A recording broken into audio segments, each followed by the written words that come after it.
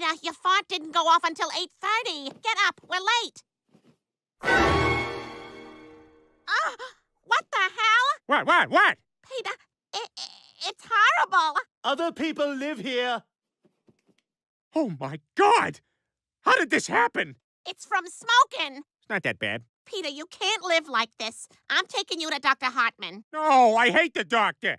Are you sure? There are Cheez-Its in there. Cheez-Its? Huh? Wait, wait, what's going on? I'm scared. I'm scared. Ah, oh, it's nighttime. Good night.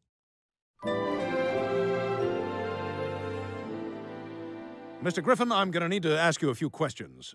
Do you think I can jump and touch that pipe up there? I don't know. The hell I can't!